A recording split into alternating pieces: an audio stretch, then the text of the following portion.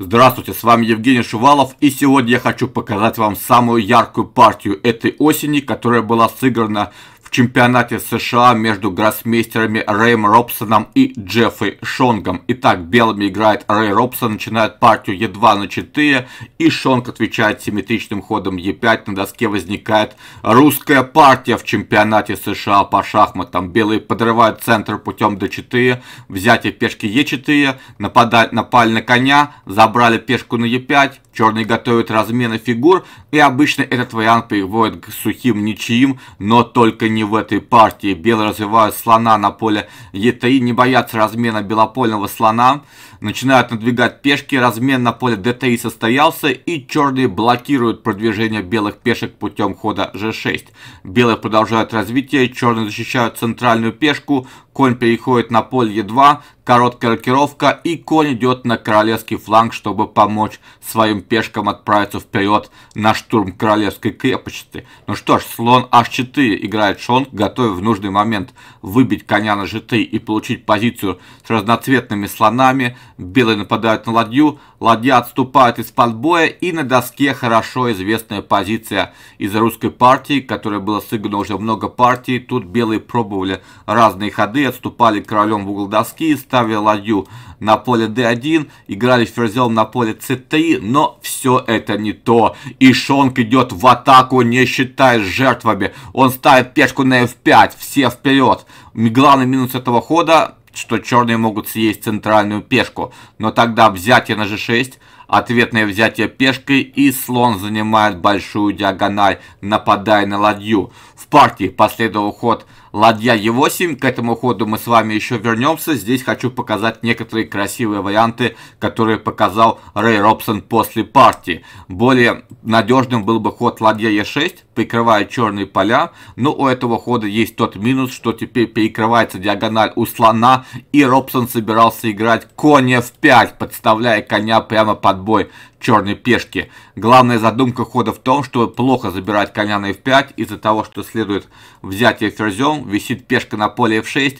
У черных есть очень красивая тактическая защита поставить ладью на поле f6. Главная идея в том, что если белые забирают здесь и атакуют черного ферзя, то ферзь шахом отступает на b6 и следующим ходом черные забирают ферзя на поле f5 и выигрывают партию. Но эта идея не работает, поскольку белые просто отступают ферзем на поле h5 и оказывается, что черная ладья находится под связкой. Черные могут пытаться сыграть c5, сбить слона с большой диагонали, но слон абсолютно никуда не уходит и, например, на ход d4 белые просто поднимают ладью к атаке. И здесь прямой наводкой бьют по королю, поскольку нельзя бить на f4 из-за мата с поля h8. Но надо сказать, что этот вариант, конечно, с огрехом. На ход конь f5 не обязательно забирать. Можно было отступить слоном на поле g5. И после хода h2, h4 у черных строго единственный ход, который позволяет им сохранить равенство. Это ход ладья e4, прицеливаясь теперь слоном коню на поле f5, взятие, взятие на f5. И, кстати, получаем довольно опасную позицию, разноцветные слоны. Кажется, что черный король находится в коробочке и стоит белому ферзю пойти куда-то в район поля h4. Это будет маг черному королю, но здесь шахматные движки показывают просто феноменальную защиту за черных. Они выходят королем в центр, то есть в этой позиции играют король f8, белые подтягивают фигуры к центру, и потом король e8, и, например, на ход c4, такой способ подорвать позицию, внимание, король d7, и король пешком отправляется на противоположный фланг, после чего перевес уже на стороне черных. Но это мы далеко отошли от партии, давайте вернемся к развитию событий в нашей партии Шонг отступает ладьей на поле Е8.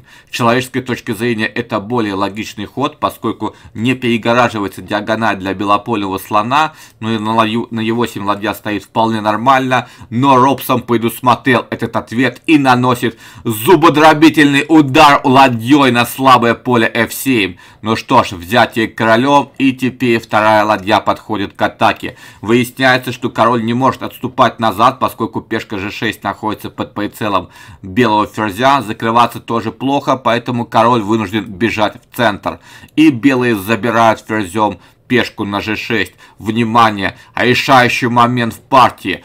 Джеффри Шонг делает ход слоном на поле e6, прикрывая короля от шахов, защищая поле f7 от вторжения ладьи, и этот ход оказывается решающей ошибкой. Для того, чтобы сохранить равенство, необходимо было бежать королем как можно быстрее на противоположный фланг. И здесь белые могут либо немедленно форсировать ничью шахом на g4 и потом шахом на f4. И ферзь не может оторваться от защиты слона. Либо белые могут продолжить атаку путем ладья f7. Это кажется наиболее неприятным. Потом конь f5. Приходится забирать. И здесь связка кажется смертельной, но выясняется, что черные могут позволить себе отдать фигуру на поле e7 и в этой позиции чувствуют себя вполне нормально, у белых не хватает огневой мощи, чтобы продолжить атаку. Но согласитесь, в практической партии это не просто осознать, поэтому последовал ход слон e6, Ход, на первый взгляд, абсолютно логичный. Теперь король готов бежать на поле d7 с полным комфортом, не перегораживая действия собственных фигур, но следует шах на поле g7, король вынужден отступать на поле d6, и шах слоном на e5. Король выходит в центр. Шах на d4. Пару раз повторили позицию и, внимание, слон c7. Сильнейший ход. Нападает на ферзя и одновременно не допускает отступления короля на поле b6.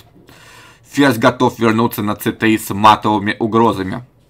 Джеффри Шонг напряг все свои извилины и находит красивое перекрытие. Он играет слон f6. Напал на ферзя и после взятия ладьей следует ход ладья g8, и выясняется, что у белых под боем слон, под боем ладья и еще и ферзь находится под боем. Казалось бы, что всех фигур сохранить невозможно, и черный восстановит материальный перевес, но не тут-то было. Рэй Робсон наносит удар в самом защищенном пункте.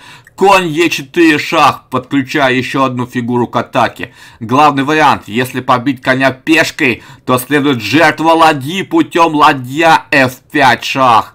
И на взятие ладьи ферзь возвращается на поле c3 и ферзь со слоном матуют одинокого короля. Если пойти налево, то следует ход а4, король бета4 и ферзь b3 мат. Обратите внимание, слон контролирует поле отступления, это мат.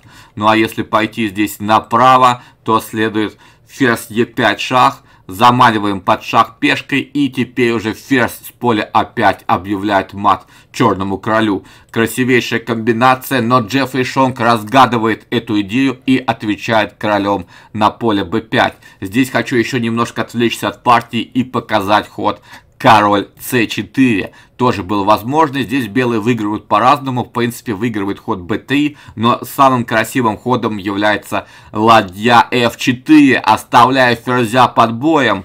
И теперь после взятия ферзя следует конь d6.